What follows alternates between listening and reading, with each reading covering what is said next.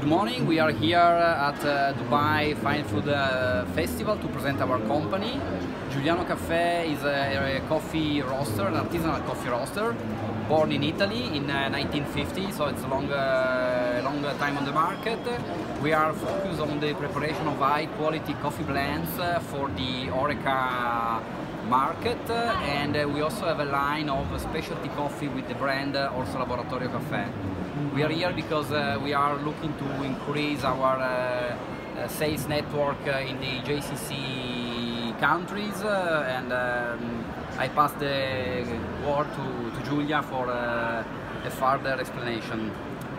Yes, um, I want to, um, to talk about Orso Laboratorio Caffè is uh, this new project uh, since 2014. Uh, was the first opening of uh, our uh, specialty coffee concept in the center of the city.